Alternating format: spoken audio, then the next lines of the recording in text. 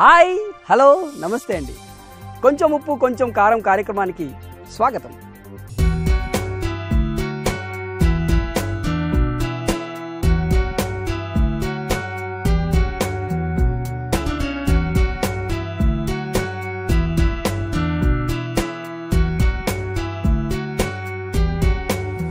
నమస్కారం. ముందుగా మీ పేరు? సంధ్యారాణి సంధ్యారాణి గారు. గుడ్. సో ఇందుపల్లిలో చాలా వరకు అందరూ ఎక్కువగా వంట వాళ్ళు ఉండడము వంటలు రకరకాల వంటలు చేయడం ఇవన్నీ జరుగుతూ ఉన్నాయి. సో మరి ఇక్కడ మీరు ఉండడం ఎన్ని సంవత్సరాలుగా ఇక్కడ ఉంటున్నారు? Twenty five years. ఇరవై ఐదు సంవత్సరాలుగా ఇక్కడ ఉంటున్నారు. గుడ్ సో ఇప్పుడు మన కోసం ఏం చేయబోతున్నారండి? ఫ్రాన్స్ కొబ్బరి ఫ్రై. ప్రాన్స్ కొబ్బరి ఫ్రై. చాలా బాగుంటుంది అనుకున్నాను. చెప్తుంటేనే నోట్లో నీళ్ళు వచ్చేస్తున్నాయి. సో మరి ఇది వీటికి కావాల్సింది ఐటమ్స్ ఫ్రాన్స్ ఒక కేజీ అండి. ప్రాన్స్ ఒక కేజీ. రెండు కాయలు కొబ్బరి తురుము. ఓకే కొబ్బరి తురుము. అల్లం వెల్లుల్లిపాయ పేస్ట్. అల్లం వెల్లుల్లి పేస్ట్. ఉల్లిపాయ ఉల్లిపాయలు. పచ్చిమిరపకాయ. ఉల్లిపాయలు. ఉప్పు కారం. కారం. నూనె. నూనె. కరివేపాకు. కరివేపాకు. కొత్తిమీర. కొత్తిమీర. సో ఇవ్వండి దీనికి కావాల్సిన ఏంటి అన్నది ముందుగా తెలుసుకున్నాము సో ముందుగా చేయాల్సింది ఏంటి?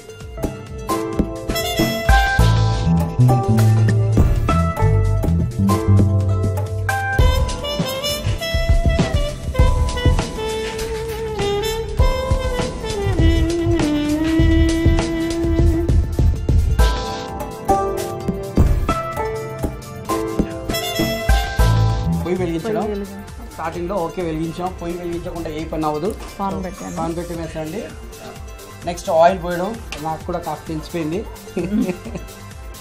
సో ఆయిల్ అన్నది అంటే ఒక కావాల్సినంత అండి లేకపోతే దీనికంటే లిమిట్ ఉంటుంది రెండు స్పూన్లు. మూడు స్పూన్లు. మూడు స్పూన్లు వేసామండి కాస్త సైజ్ మాత్రం చాలా పెద్దది. బాయిల్ అవ్వాలండి ఓకే. సో మరి ఇందాక మీరు చెప్పారు మా ప్రాన్స్ అని చెప్పి దాంట్లో ఆ రొయ్యలకు సంబంధించిన అంత కలర్ తేడాగా ఉంది. అది ఏం చేశారండి అసలు? దీన్ని కేజీ తీసుకొని బాగా కడుక్కొని అల్లం వెల్లుల్లిపాయ పేస్ట్ కొంచెం ఉప్పు పసుపు వేసి బాయిల్ ముందుగా పట్టించారు బాయిల్ చేయాలి. బాయిల్ చేయాలండి. సో అదండి. కొంచెం కొద్దిగా నీళ్ళు పోసి ఎక్కువ నీళ్ళు పోయకుండా. కొద్దిగా నీళ్ళు పోసేసి దాంట్లో పసుపు అండ్ అల్లం వెల్లుల్లిపాయ పేస్ట్. అల్లం వెల్లుల్లిపాయ పేస్ట్ కలిపేసి ఉప్పు. ఈ మూడు కలిపి బాగా దీన్ని పట్టించేయాలండి ముందుగా. అవి మూడు కలిపేసి బాయిల్ చేయాలని చెప్తున్నారు. సో బాయిల్ చేస్తే ఈ రేంజ్లో ఈ కలర్లో ఉంటుంది. సో కరివేపాకు కాస్త వేసేవండి బాయిల్ అయ్యే ఆయిల్లో దాని తర్వాత వేస్తున్నారు. ఉల్లిపాయలు అట్ ద సేమ్ టైం చీలిన పచ్చిమిరపకాయలు వేసారండి రెండు కలిపి వేస్తున్నారు. ఓకే. ఓకే అండి.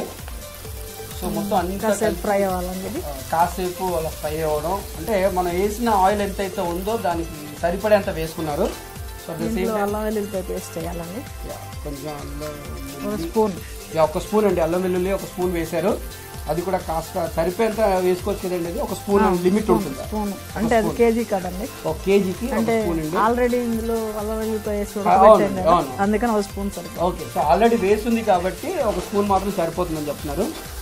మనం బాయిల్ చేస్తా ఉన్నారు. బాయిల్ చేసింది కూడా ఇంచుమించు బ్రౌనిష్ కలర్ దగ్గరగా వచ్చిందండి. కాస్త కలర్ బ్రౌనిష్ కలర్ వచ్చింది. దాని తర్వాత చేయాల్సింది ఏంటంటే కొబ్బరి రెండు కొబ్బరికాయలు తురుగుని వేస్తున్నారండి. దగ్గర అది కూడా పేస్ట్ దగ్గరలో ఉంది. బ్రౌనిష్ కొంచెం బ్రౌనిష్ వచ్చినాక కాస్త బ్రౌనిష్ వచ్చేంత వరకు మళ్ళీ వేం చేసుకోవడం అలా చేస్తూ ఉండాలండి. లేకపోతే ఏమాత్రం మధ్యలో ఉన్నా కూడా అవకాశం ఉంది. అవకాశం ఉంది. సో అలా కాకుండా చేసుకోవాల్సి చేయాలి అంటే ఖచ్చితంగా కలుపుతూనే ఉండాలా? అవునండి. అంటే స్టవ్ సిమ్లో పెడితే అక్కర్లేదు. ఓకే. హైలో పెడితే ఓకే. సో హైలో పెట్టి చాలా జాగ్రత్త కలుపుతూ ఉండాలండి. ఏమాత్రం అటు ఇటుగా ఉన్నా కూడా కొబ్బరి అడగంటిపో- అడగంటిపోతుంది. దానివల్ల టేస్ట్ అంతా పాడైపోతుంది. సో చాలా జాగ్రత్తగా చేసుకోవాలా. సో అమ్మగారు మీకు ఎంతమంది పిల్లలు? ఇద్దరండి. ఇద్దరు. అబ్బాయి అమ్మాయి. సో గుడ్ ఏం చేస్తుంటారండి వాళ్ళు? అబ్బాయి గ్రాఫిక్ డిజైనర్ అండి. వెరీ గుడ్ అబ్బాయి గ్రా- గ్రాఫిక్ డిజైనర్ అమ్మాయి? అమ్మాయి వాళ్ళు అమెరికాలో. ఉంటారు యూఎస్లో ఉంటున్నారండి. Very good very good so ఎంతమంది మనవాళ్ళు మనవరాలు ఒక్క మనవరాలండి. మనవరాలు. సో మిస్ అవుతున్నారండి మనవరాలు. చాలా. చాలా మిస్ అవుతుంటారు. పేరండి? మనవరాలు పేరు? నందన. నందన. నేమ్ చాలా బాగుంది.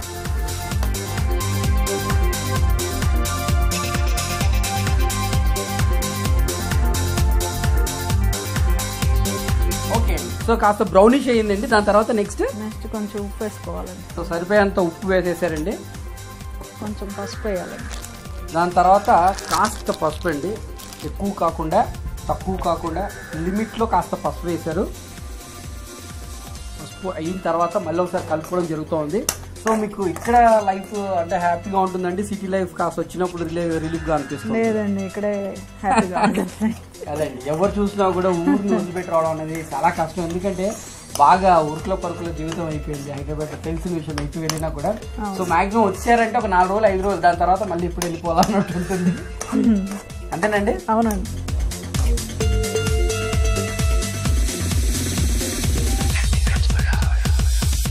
సో ఇది మొత్తం మొత్తం చూస్తే దగ్గరికి అయిపోయిందండి బాగా. ఇప్పుడు నెక్స్ట్ మనం ఏం చేయాలండి? రొయ్యలు వేసుకోవాలి. ఓకే సో మనం ఇంతకుముందు రెడీ చేసుకున్న రొయ్యలు తీసుకొని వేస్తున్నాం వేయడం జరుగుతుందండి సో రొయ్యలు వేసిన తర్వాత మళ్ళీ మరొకసారి ఇమీడియట్లీ రొయ్యలు కలిపి కూడా వేగాలండి. ఆల్రెడీ మనం బాయిల్ చేసాం కదండి? అవి కూడా నూనెలో అయితే బాగుంటుంది. అవి కూడా నూనెలో. ఓకే అండి. సో అదేంటంటే ఆల్రెడీ మనము ఇంతకుముందు బాయిల్ చేసిన రొయ్యలు ఉన్నప్పటికీ మరొకసారి నూనెలో అది వేయాలంటున్నారు ఉల్లిపాయలు సో ఉల్లిపాయలతో పాటు బాగా కలుపుకోవడానికి అదే ఇంతకుముందు నేను చెప్పినట్టు సో ఒక్కటికి రెండు సార్లు కలుపుకుంటేనే దానికి బాగా ముక్కకు పట్టేలా ఉందండి. అవునండి సో చూస్తుంటే స్మెల్ చాలా గుమ్గుములు ఆడిపోతా ఉంది. ఎప్పుడెప్పుడు తినాలన్నట్టు. సో ఇది అదేంటండి అంటే రైస్లోకి వేసుకోవడమా లేకపోతే చపాతీలోకి వేసుకోవడమా? దేనికి ఎక్కువగా రైస్ రైస్కేనండి సో మాక్సిమం ఏంటంటే కొంతమంది చపాతీలో అయినా తినొచ్చు. చపాతీకి కూడా తినొచ్చండి. అంటే యాక్చువల్గా ఏంటంటే వేపుడు అనేసరికి కాస్త ఎక్కువగా చపాతీ ప్రిపేర్ చేస్తుంటారు సో అందులో భాగంగా రెండో ఏంటంటే రైస్ కూడా బాగుంటుందని చెప్తున్నారు. దీన్ని ఇలా కొబ్బరిలాగా మనం శనగపప్పు వేసుకుని అయినా వండుకోవచ్చు. అలా కూడా ఉందండి. సో శనగపప్పు కూడా వేసుకొని వండుకోవచ్చు అని చెప్తున్నారు. సో అమ్మగారు. సో మామూలుగా నాన్ వెజ్ అంటే స్మెల్ బాగా ఎక్కువగా వస్తుంది. ఏదైనా కూడా. సో ఇక్కడ మాత్రం మనకి ఆ నీసు స్మెల్ అనేది రాకుండా చాలా అద్భుతంగా కనబడుతుంది కలర్ఫుల్గా సో ఎలా సాధ్యమవుతుంది ఇలాగా? ఫస్ట్ ఉడకబెట్టేటప్పుడు ఆ స్మెల్ ఎగిరిపోతుంది. అల్లం వెల్లుల్లిపాయి పసుపు వేయటం వల్ల స్మెల్ నెక్స్ట్ ఒక రెండు స్పూన్లు కారం ఓ రెండు స్పూన్ల కారం అండి. దాని తర్వాత గరం మసాలా రెడీగా ఉందండి. గరం మసాలా కూడా ఒక స్పూన్. అండి. ఒక స్పూన్ వేసారండి. ఓకే. ముందే కారం వేస్తే ఇంకా ఎక్కువ అతుక్కుపోతుంది అది. అడుగంటిపోతుంది. ఓ అదండి. ముందుగా కారం వేస్తే అడుగంటి పోతుంది అది మొక్క కాకుండా గట్టి పడిపోతుంది గట్టిపడిపోతుంది. సో చివరిన వేసుకుంటే మాత్రం అదేంటంటే ఆ టేస్టీ టేస్టీ దాని తర్వాత మనకి ఎలాగైతే కావాలో అలా వస్తుంది అనమాట అవునండి. ఓకే అంటే ఇప్పుడు దీని తర్వాత ఇంకేమైనా వేయాలి అమ్మగారు? ఇంకేం లేదండి. కొత్తిమీరతో వేసుకోవడం సో రెడీ అయిపోయినట్టు నాకు తెలిసినంత వరకు అయితే అయిపోయిందండి. ఓకే చివరిన కొత్తిమీర కాస్త వేసారండి సో కొత్తిమీర లాస్ట్ వేసిన తర్వాత మరోసారి దాన్ని మొత్తం కలిపేశారండి దాని తర్వాత అక్కడితో అయిపోయింది. అయిపోయింది సో రెడీ అండి. దీని పేరు ఏం నామకరణం చేస్తారు అమ్మగారు మీరు? పేరేం పెట్టారు దీనికి? ఫ్రాన్స్ కొబ్బరి ఫ్రై. ప్రాన్స్ కొబ్బరి ఫ్రై. చాలా బాగుందండి ప్రాన్స్ సంబంధించింది మరి. అది చూద్దాం మరి టేస్ట్ చూడాలి. నాకైతే నోట్లో నీళ్ళు వచ్చేస్తున్నాయి. చూద్దాం.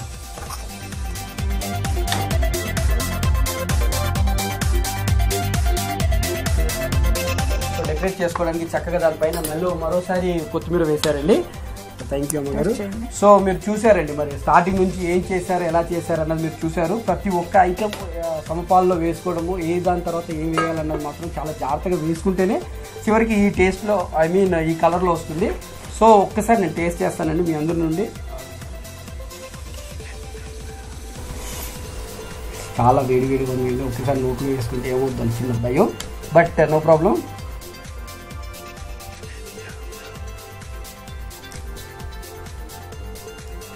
అద్భుతం అండి మహా అద్భుతం.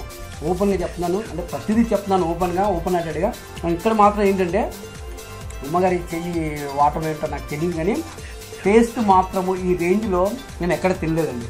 ఇది వాస్తవం. సో కావాల్సిన పదార్థాలు కూడా మీరు అందరూ చూసారు ఏమేమి కావాలో మరొక్కసారి మీ అందరి కోసం కావాల్సిన పదార్థాలు. దాంట్లో కేజీ కొబ్బరి తురుము అల్లం వెల్లుల్లి పేస్ట్ ఉల్లిపాయలు సాల్ట్ కారం నూనె కరివేపాకు కొత్తిమీర.